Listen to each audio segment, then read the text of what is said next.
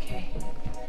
Hello and welcome back to another YouTube video. In today's YouTube video, we're hitting legs together. It is time for me to train. So this isn't gonna be one of those videos where you're like following along. Like we're training, we're training hard today. It's been a few good rest days and now it's time for me to get back into the gym. So without further ado, let's hit the gym.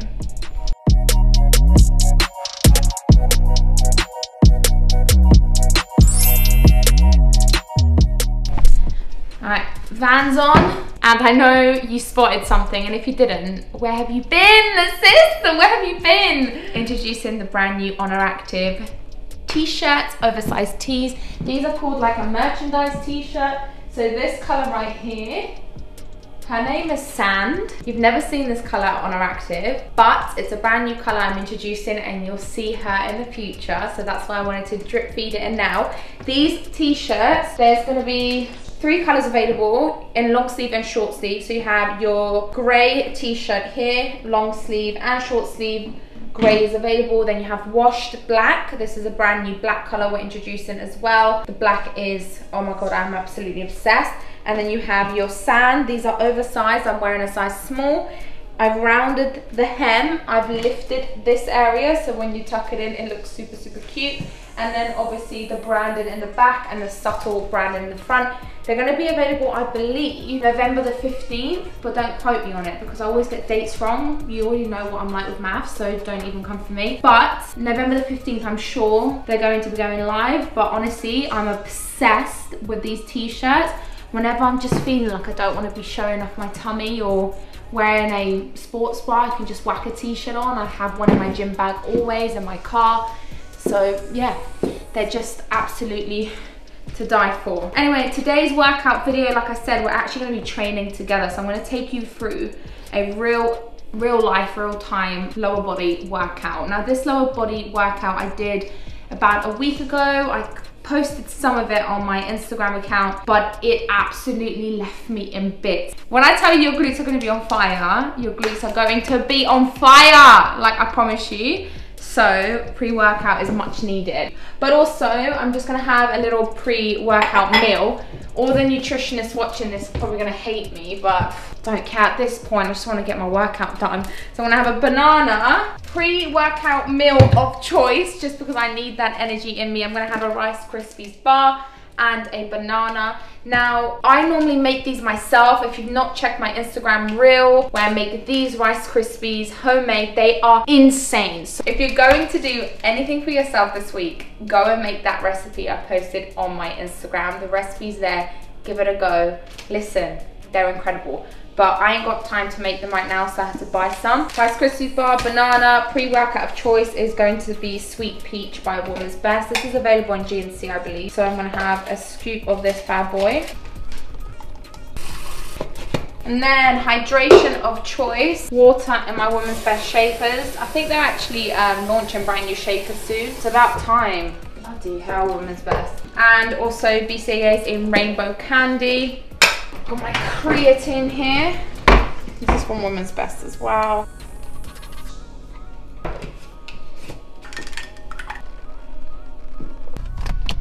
Me and Sasha were just talking about owning a house. Look, like, I don't know if any of you own homes or if you have your own home or your parents have your home, but listen, my parents had a council estate. So if you don't know what a council flat is, it's basically where the government gives you a home because you can't afford your own home. My mum and dad have been living in a council house for about 20 years of their life and just recently I bought their home for them finally that was like my biggest achievement my personal biggest achievement to be able to actually buy them a home but oh my gosh, why does no one actually tell you how many implications being a homeowner is? First of all, I don't know if you saw my Instagram, but my roof, did you see my roof just fell? My roof fell down, I was showering, I was trying to relax, and then it fell on the floor, and I was like, right, okay, I've got to fix that. Nice. Had no home insurance, that's something you need. And now my toilets, all my plumbing's broken. I either have really hot showers or really cold showers. So I've got to fix all my plumbing. That's going to cost me about three grand. Like, just don't just just don't. Live with your parents for as long as you can. Do not complain. Lock your door in your parents houses and don't buy a house because it is a fucking shit show. Just don't even bother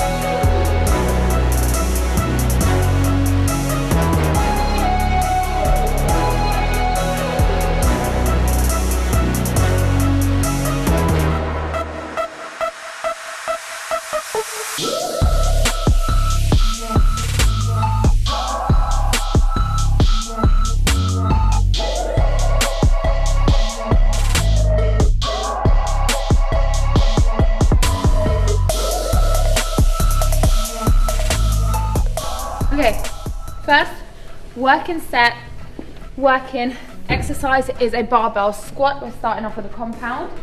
I'm gonna add 50 kg as my starting weight on each side. That accumulates to 30, 50 kg, including the bar. The bar is included in your weight. The bar alone, depending on which one you're using, is about 20 kg. So please include the bar. Now, I'm gonna give you a few tips when you squat. I learned them recently, so I wanna share them with you because I know they're really gonna help. When you are squatting, I never imagined it this way, but when I heard it, I was like, oh my God, it makes so much sense, and I wanted to share it with you so much. When you are squatting, I want you to imagine your feet are claws, like bird claws. And I want you to imagine you're planting your feet evenly, so that means there's no distribution just in the front or no distribution just in the back. You wanna plant it solidified on the floor. And when you're pushing yourself up to lift the weight, I want you to imagine gripping the floor like a claw. So if you can see my foot here, flat, but then when I'm pushing up, it's gonna go and grip.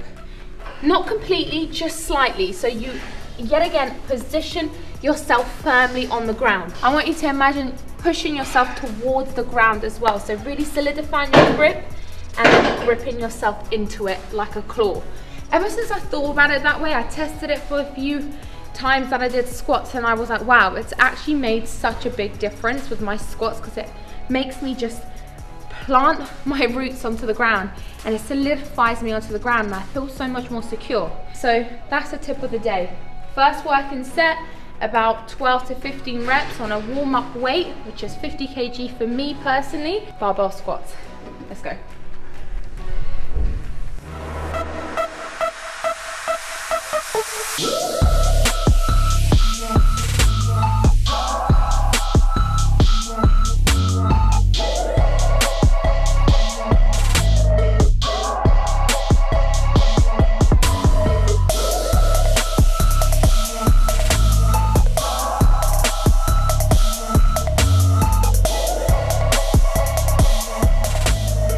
first proper working set so you could do two on a lighter weight i like to do one unloaded bar. So if you're on the Tone and Sculpt app especially if you're doing my strong program you will see there's always unloaded bar and that means to do reps with just the bar alone just to get you know feel how the bar feels if it's in the right positioning if it needs to go higher lower. It just gives you a bit more leverage to work around with what you've got. So my first working set for me i'm going to start off with a 70 kg barbell squat. My aim today is to do 12 reps. I'm going to add a bit more weight 10 reps add a bit more weight tiny bit. We're only going to go up a few steps. We're not going to do drastic big changes. My aim is to do about three to four working sets. My last working set to be roughly about six to seven reps, um, just getting as much as I possibly can.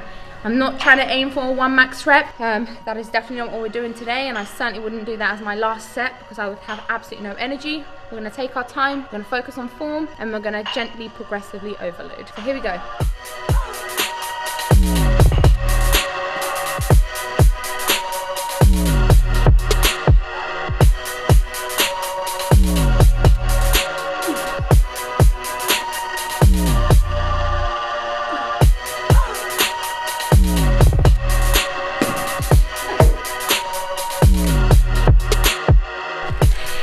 Saying to Sasha, I felt heavy. Okay, sometimes you're gonna have good days, sometimes you're gonna have bad days.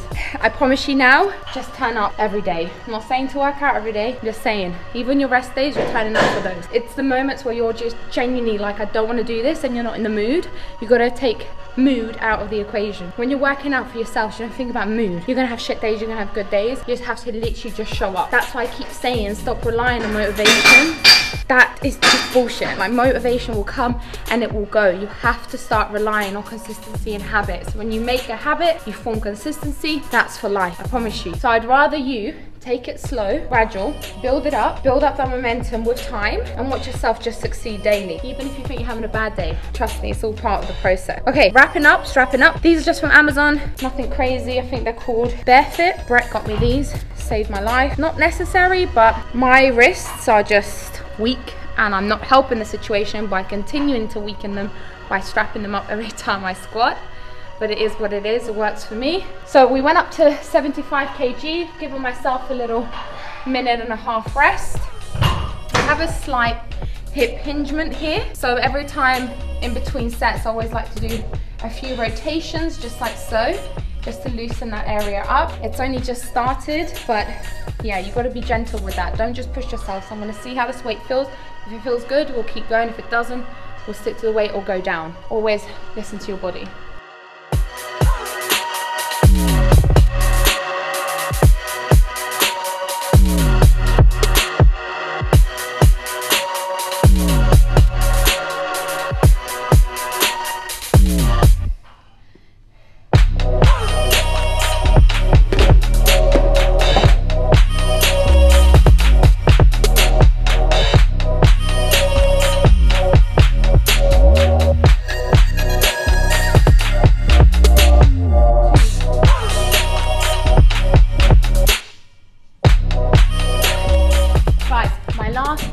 Set. We've gone up to 85 kg. Um, I'm gonna attempt about six, seven reps. Like I said, I'm not gonna go crazy. Um, my do one max reps. I feel depleted after those reps. I'm not gonna lie. 85 kg. Let's see what we can do. Started to notice that a bit. My knees want to really cave in a bit. So if your knees want to cave in, here's what I want you to do. When I squat, sometimes what happens is I'm down here and then as I come up, my knees want to come in and it's really annoying because when you're squatting, there's so much complexity to it. So you've got to imagine your core needs to be engaged, right? Feet planted to the ground, your chest upright. You want to hinge your hips like there's so many things to think about. That's why squats are so intimidating. So the one thing I'm finding is my knees want to just slightly cave in, especially when I go heavier. So what I want you to imagine is when you are coming up, I want you to push out and come up instead of just trying to come all the way up. I want you to push out, then come up like that. Did you see the difference? So if I'm just coming up, there is no two-step process. But if you want your knees to not cave in, I want you to push out, then come up. So try that next time if you feel like your knees are caving in too much. It might make the world a difference. Let me know in the comments below, like always.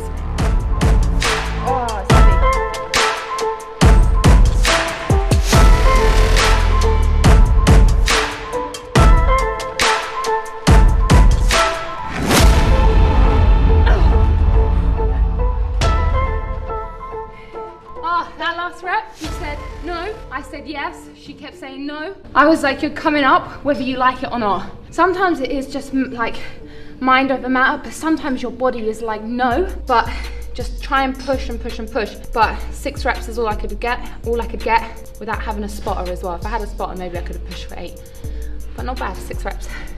Okay, second exercise of the day. We're doing a stiff leg deadlift, Romanian deadlift, whatever you want to call them. Wrap them up if you want to. Remember, because he likes to use straps and wrap whatever. One day I am launching my own straps.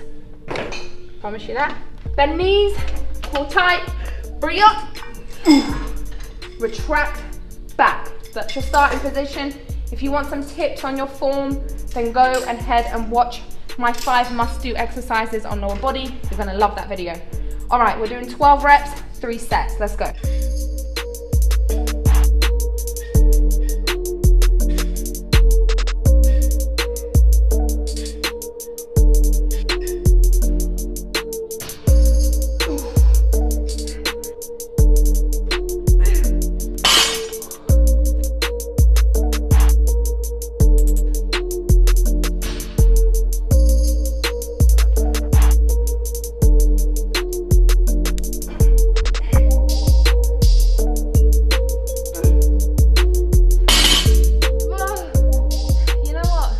Doesn't actually get easier. Wow. Oh. Me and Sasha were just talking about my latest YouTube videos and apparently this comment came up about me having bum pads. You know what? I take it as a compliment because Lord knows my body's like this naturally. So I've always been slender and it's taken me years to build a booty years to build it. And it wasn't until I started really prioritizing my compounds, it wasn't until I really started actually realizing I don't need to train that every day, two times max, three times a week, max three times a week is significant enough to optimize results and it gives you enough time to rest and recover. So if you are training your legs and your glutes every single day because you want to grow them, you're not giving them enough time to recover. Here's a little fun fact for you. When you are working out, you think you're building muscle, right? Actually, you're depleting energy and you're breaking everything down. You replenish that energy by fueling and resting, not by then depleting it even more and even more and even more. So that's why I can't stress enough how important it is to rest and recover your body. So if you're not doing that enough, please do so. And if you don't know whether you need rest and recovery, here's a few things to take into consideration. If you've come to the gym for a while now and your sessions are not been the best, that's an indication. If you're overly sore, overly tired, overly exhausted, that's an indication. If you've lost momentum, if you're not really got the same drive, give yourself a little rest, come back, let it let, let yourself miss it a bit. All these things take into consideration. Don't beat yourself up too much. Going to the gym every day is just not sustainable. So here we go. Third set, 20 kg each side. I think that's 246, 60 kg. Yeah, it's okay.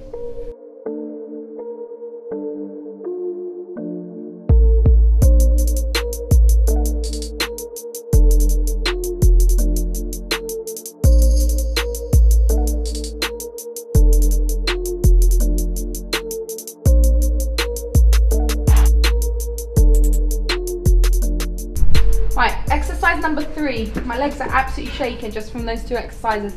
We're doing a unilateral move and the unilateral move today, we're doing two, but this is your first one.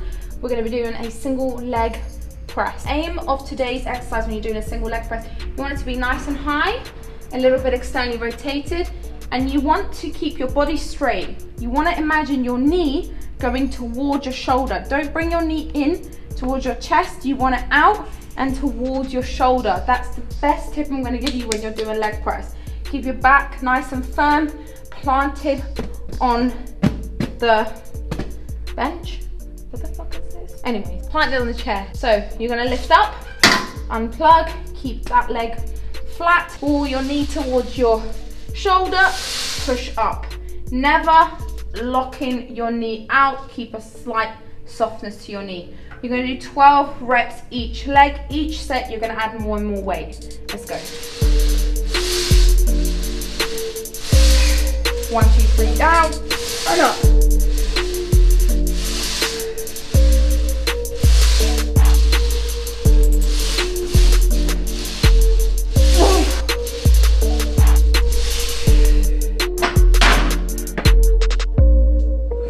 Thirty-five kg plus the machine. I think sometimes people forget the machine weighs like weighs the size of an earth. Right, let's go.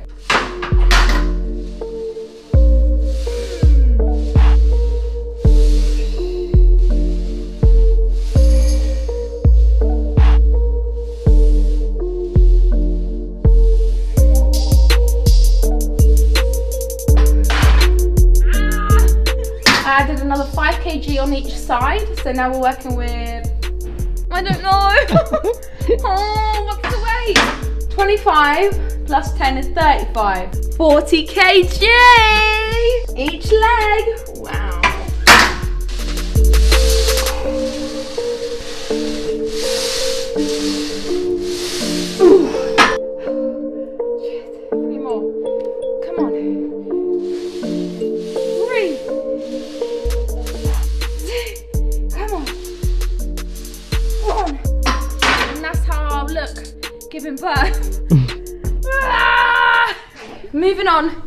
To the fourth exercise, we're doing another unilateral move, and this is going to be a Smith machine split squat. You can do Smith machines various different ways. Dumbbell, freestanding barbell, Smith machine, one dumbbell, two dumbbells, one kettlebell. You can do a deficit, you can do anything you want. So this is just a choice. I actually haven't done Smith machine split squats. I would truly say in over two years. I haven't done them in a while. So this is the first time we're gonna do them in a long time. So I wanna see how it feels. I wanna see what kind of activation I get as well. If I don't like it, we'll move on. If I like it, I'll stay on this. But it's really my job to also try new things because whenever I'm writing a new program for the Tone and Sculpt app, whenever I'm putting new workouts into the Tone and Sculpt app, I always have to trial new things for quite a long time before I can introduce them to everybody else's program. Um, and that's simply because then I know why I've introduced this exercise and it's not just there because of the sake of being there. It needs to have purpose, right? So let's try it. Uh, so 20 plus the bar. It seems like a light Smith machine. Sometimes Smith machines are a little bit heavier. So we'll see what we're working with. Load it up, rack it up, unload.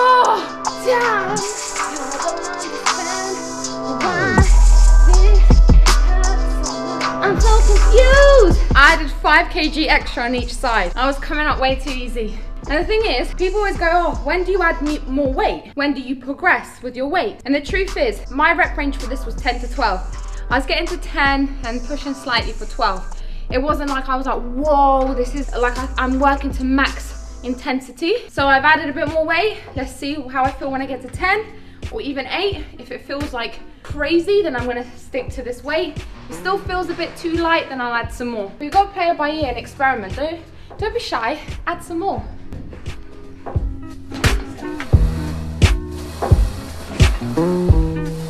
It's heavy, it's heavy, it's heavy, it's heavy.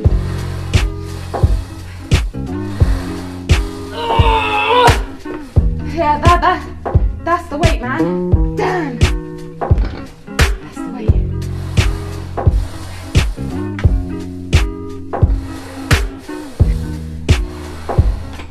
If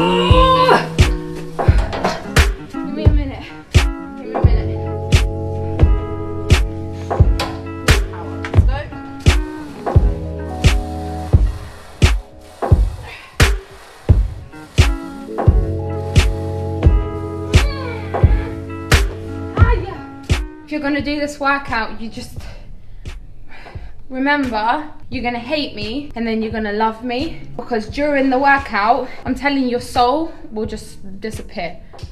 She's gone. I don't know when she'll come back, but she's disappeared. So, just saying. Anyway, so last exercise duo, we're gonna throw in a superset. We're actually gonna do quite a bit of volume, only two sets of this superset. So we're gonna do 20 reps at a leg extensions, hitting those quads. And then we're gonna go over to this bad boy machine over here, which is a seated, over In here. front. over here. We're gonna go to this machine over here, which is a seated hamstring curl. So we're doing 20 reps, 20 reps accumulated to 40 reps. You're doing only two sets of this accumulated to 80 reps. Now, if you're on the Tone and Sculpt Strong program, I tend to finish you off with a burner. If you're feeling shaky after your workouts, that is because your energy levels are completely depleted, so you need to replenish them as soon as you can. That's why I recommend having a shake straight after your workout or some post-workout meal to replenish that energy back. Remember, you're breaking tissue down and you're breaking things down when you're working out. Your body is exerting a lot of energy. That's why you need to replenish it back into your system. Please, please, please, after your workouts, don't just spend a couple of hours not eating. You're doing more damage than any good. So remember, 20 reps, 20 reps, two sets only, accumulation of 80 reps total. Right, I'll do 45 kg, see how that feels. Let's go.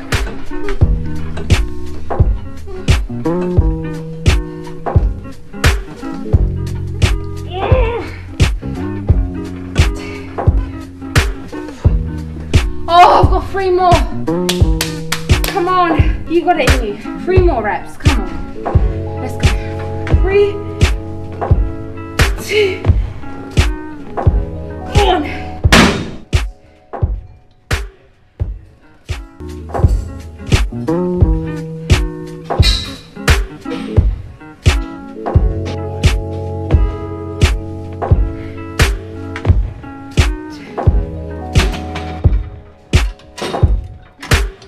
Take me home. Daddy, take me home.